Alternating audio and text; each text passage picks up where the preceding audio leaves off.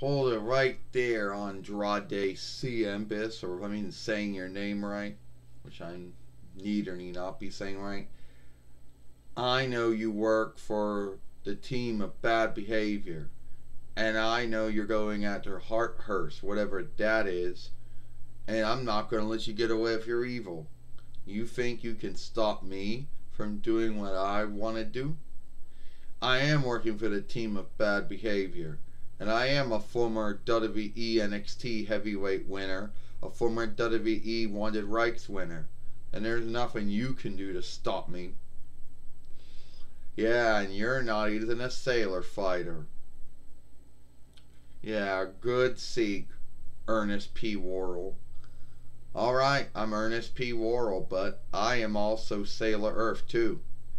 I can't shapeshift like my fellow sailor fighters can, but I'm still a sailor fighter. Alright? And I will beat you. Because I am the fighter of goodness and kindness, Sailor Earth. In the name of the Earth, I will handicap you. Know what I mean? How are you going to handicap me in the name of the Earth? I'll show you how.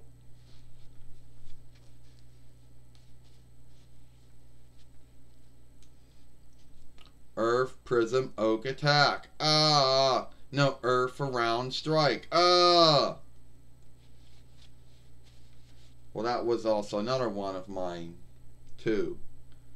You'll wish you never did that to me. Ernest P. Worrell, Sailor Earth, whatever.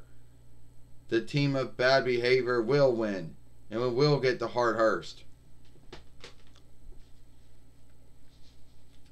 Well, you just saw me beat Andrade Ciembis, if I'm saying it right or not. I really don't know if I am. If you like that film, then watch yesterday over here when Sailor Neptune fought Andrade Ciembis. Or follow us here at Sailor Moon for Life. I'm Sailor, I'm Sailor Earth. Hope you like this film, know what I mean? Bye.